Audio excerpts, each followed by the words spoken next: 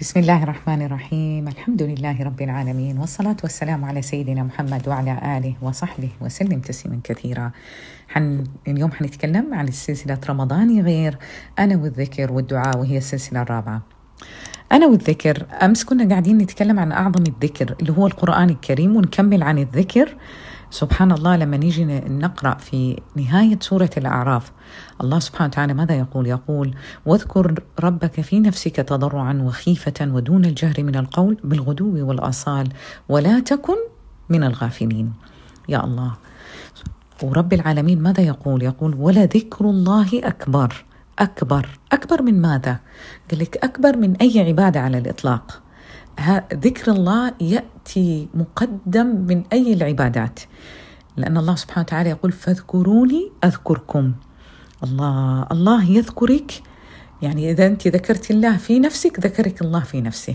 وإذا ذكرت الله في ملأ ذكرك الله في ملأ أعظم من الملأ اللي أنت آه تذكرينه.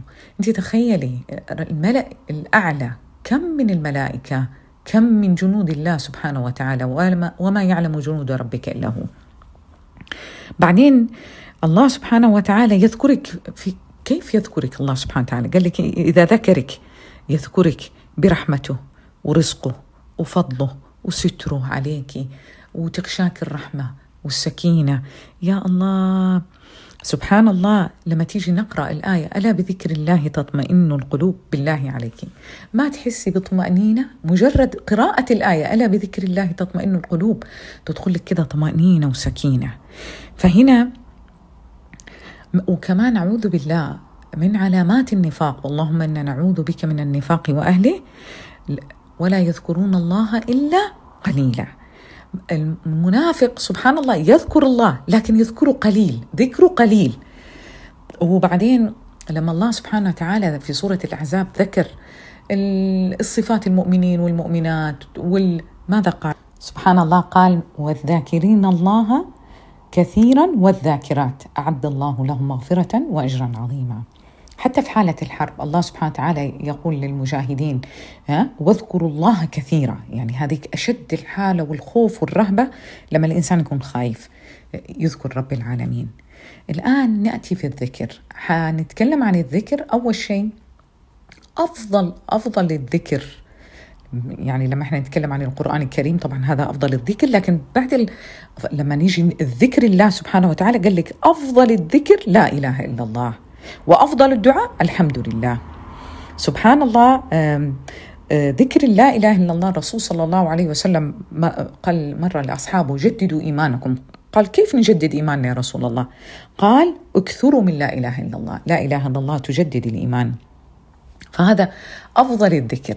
طبعا ذكر لا إله إلا الله يدخل حتى لما إحنا نقول لا إله إلا الله لوحده أو نكمل لا إله إلا الله وحده لا شريك له له الملك وله الحمد وهو على كل شيء قدير وهذه داخلة في أذكار الصباح والمساء مئة مرة.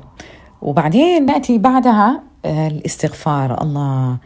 فقلت استغفروا ربكم إنه كان غفارا. الاستغفار.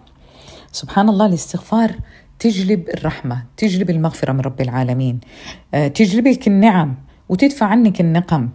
آه، أفضل الاستغفار في وقت السحر. الوقت السحر اللي هو خليكي يعني بعد ما تسحرتي بعد قبل الأذان مثلا بثلاث أربع دقائق أو خمس دقائق أذان الفجر اجلسي استغفري رب العالمين هناك. وعشان تدخلي في قوله تعالى وبالأسحار هم يستغفرون. طيب الاستغفار كيفيته؟ كيف أستغفر الله؟ قال لك ممكن تقولي أستغفر الله وأتوب إليه. أو تقولي أستغفر الله الذي لا إله إلا هو الحي القيوم وأتوب إليه. أو قولي دعاء يونس عليه السلام لا إله إلا أنت سبحانك إني كنت من الظالمين. أو في سورة النصر إذا جاء نصر الله والفتح فسبح بحمد ربك واستغفره إنه كان توابا. يعني قولي سبحان الله وبحمده أستغفر الله وأتوب إليه. أو قولي رب اغفر لي وتب علي إنك أنت التواب الرحيم. هذه صياغات الاستغفار خمسة. اختاري فيها ما شاء لك أن تختاري. أي واحدة فيهم عجبتك اختاري واذكري. أو شكلي منهم الخمس وقلت لك افضله أفضل وقت للاستغفار اللي هو وقت السحر. بعد كده عندي أذكار الصباح والمساء. أذكار الصباح والمساء طبعا داخل فيها اللي هو بعد صلاة الفجر قبل قبل آه، شروق الشمس أنت تستغ... آه، تذكرين الله سبحانه وتعالى في أذكار الصباح والمساء وهي متنوعة من الحفظ والتحصين ويا الله على أذكار الصباح والمساء. يعني يومك يكمل وحالات يومك يكمل لما تبدأيه ب... بأذكار الصباح والمساء. آه وبعدين عندنا سبحان الله والحمد لله ولا إله إلا الله والله أكبر. قلنا لا إله إلا الله والله أكبر. هذه الباقيات الصالحات. وعندي لا حول ولا قوة إلا بالله. لا حول ولا قوة إلا بالله يا جماعة. كنز من كنوز الجنة. معناته أنا أطلع من حولي وقوتي إليك أنت يا رب. في كل أموري في أموري الدنيوية والأخروية.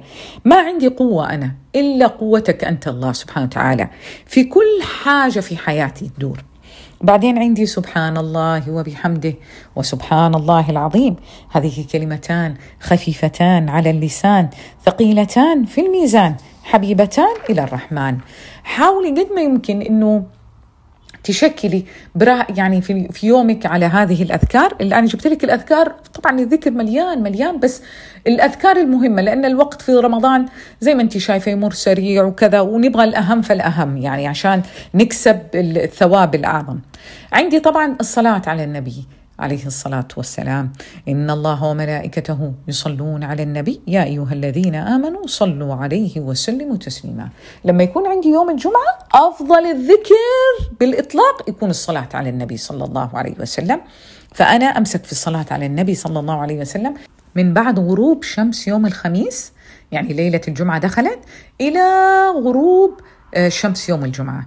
نصلي على النبي صلى الله عليه وسلم ونكثر الصلاة فيه لأنها سبحان الله هي سبب لاستجابة الدعاء سبب لمغفرة الذنوب سبب لتخليص من الهم والغم تكفى همك وغمك سبب لمحبة الله سبحانه وتعالى سبب لشفاعته صلى الله عليه وسلم. هذه هي أنا أعطيتك الذكر وانت شكلي وتح... وفي حسبنا الله ونعم الوكيل واللي يعجبك في ذكر الله سبحانه وتعالى سبحان الله ذاكر الله لا يخيب. عمرك ما حتخيبي. طالما انت لسانك يذكر الله سبحانه وتعالى عمرك ما حتخيبي. وبعدين أدخل الله في الدعاء. سبحان الله يوم من الأيام الصحابة رضوان الله عليهم جاهم سألوا الرسول صلى الله عليه وسلم سؤال منكسر. قالوا يا رسول الله أقريب ربنا فنناجيه أم بعيد فنناديه؟ سبحان الله قبل الرسول صلى الله عليه وسلم ما يرد عليهم يأتي الرد من الله سبحانه وتعالى وتنزل الآيات اللي كل مؤمن وكل مسلمة يعني أنت كل إنس إنس تقرأين هذه الآيات مجرد ما تقرأ تحسي أن الله سبحانه وتعالى يكلمك أنت اللي هي وإذا سألك عبادي عني فإني قريب أجيب دعوة الداعي إذا دعان. فليستجيبوا لي وليؤمنوا بي لعلهم يرشدون. بالله عليك لما تقرأ هذه الآيات ما تحسي أن الله سبحانه وتعالى يا الله حيستجيب لي حيستجيب لي. ما أجملها قال لك طمأنينة أكبر طمأنينة في أنه هو أضافه إلى عبادي عبادي يعني وإذا سألك عبادي. تحسي كده على طول بطمأنينة فوقها آه، أعطاه على طول الرد المباشر باستجابة الدعاء. فإني قريب فإني قريب. الله يعني أنا سامع دعائك وقريب. بل وعجل قال لك في الاستجابة قال أجيب دعوة الداعي إذا دعان. كريم سبحانه كريم. والعجيب يا جماعة شوفي نيجي في العجب دحين. وأكثر من ذلك إن الله سبحانه وتعالى جعل هذه الآية موجودة بين آيات الصيام. الله أكبر. عشان يعطيك اليقين. أنت تخيلي أنت ذاك اليوم صايمة وجالسة تدعي الله سبحانه وتعالى يجيك في الحديث. ثلاث دعوات مستجابات. ثلاث دعوات مستجابات من ضمنهم دعوة الصائم. لا وأكثر من ذلك. آه، في الحديث قال بل كل يوم وليلة دعوة مستجابة. لك كل يوم وليلة دعوة مستجابة. آه، سبحان الله وعن الرسول صلى الله عليه وسلم ماذا قال؟ قال وإن لكل مسلم في كل يوم وليلة دعوة مستجابة. يا رب اجعلنا من اللي دعائهم مستجاب يا رب العالمين في هذا الشهر يا رب العالمين. بعدين قال وللصائم عند فطره دعوة لا ترد. يا رب كل ما تدعي كل ما قبل ما تفطري خلي الخمس أو عشر دقائق قبل الإفطار قبل الأذان المغرب اقعدي ادعي الله سبحانه وتعالى بخير الدنيا والآخرة. وكل الأمنيات اللي نفسك تتحقق. وكل أشياء في قلبك. ولا تنسي الأمة ولا تنسي المسلمين لا تنسي الآخرة. دائما الناس تدعي في الدنيا ومن الناس من يقول ربنا آتنا في الدنيا حسنة وما له في الآخرة من خلاق. لا نبغى ندعي في آه، في الدنيا حسنة وفي الآخرة حسنة. ندعي خير الدنيا والآخرة. ولا تحملين هم الإجابة. سبحان الله الله جعل لسانك يدعي عشان هو يبغى يستجيب لك. فلا تحملي دائما. الإنسان يقول يا الله أنا أدعي أدعي لكن الله سبحانه وتعالى. ما يستجيب لي. لا تحطي هذا الهم لأن دعوتك ما تدري كيف بتيجي بأي طريقة الإجابة تيجي. يمكن دفع بلا يمكن الله يغير لك اياه من حال لأحسن حال. يمكن هذه الدعوة يغير لك بحاجة أحسن من اللي أنت تبغيها. ويمكن يحط لك اياه في الآخرة. فطالما أنت تدعين عمرك ما حتخيبي. وبعدين سبحان الله الله سبحانه وتعالى والله يستحي إذا رفع عبده أن يردهم صفرة. الله سبحانه وتعالى يعني أنت ادعيه بقلب منكسر. ارفعي إيدك وادعيه بقلب منكسر ولا تستعجلي وحاضر وذليل. الله سبحانه وتعالى هو كريم. مستحيل يردك صفر. سبحان الله حديك الأوقات التي تستجاب فيها الدعاء. عند الأذان والإقامة الدعاء مستجاب. في السجود لأن الله سبحانه وتعالى أقرب ما يكون العبد يكون وهو ساجد. بعدين قال لك آخر ساعة من ساعات يوم الجمعة. آخر الثلث الأخير في الليل. عند الفطر أول ما تفطري. عند نزول المطر. دعوة المسافر مستجاب. دعوة الوالدين. آه، قولي لأمك وأبوك يدعوا لك. آه، دائما يعني لأن دعوة الوالدين تكون مستجابة. اطلبي منهم. تبدأي كيف بالدعاء؟ تبدأي بالحمد والثناء على الله سبحانه وتعالى والاستغفار. والصلاة على النبي صلى الله عليه وسلم وتتوسلين بأسماء وصفاته. يعني لو تبغي الرزق تقولي يا رزاق يا رب العالمين. لو تبغي تدعي بأسمائه بكرمه يا كريم يا ذا الجلال والإكرام بأحب الأسماء إليه لا إله إلا الله وحده لا شريك له ادعي بها. وبعدين آه، حط اليقين إن الله سبحانه وتعالى حيستجيب. قال لك كمان وكوني لحوحة. قال لك عند الدعاء كن مثل الطفل لحوحا تبكي وتترجى. زي الطفل كيف يكون يترجى ويترجى ويعيد ويعيد ويعيد. اطلب الله سبحانه وتعالى. ويا جماعة اطلبوا الله على قدر ملكه. اطلبيه على قدر ملكه لا على قدر أحلامك. أحلامك مهما كانت صغيرة لكن قدر ملك الله سبحانه وتعالى. مالك السماوات والأرض لا يعجزه شيء. فاطلبيه واطلبي المستحيل. اطلبي اللي انت تحسيه مستحيل. اطلبيه من الله سبحانه وتعالى باسمه الواسع.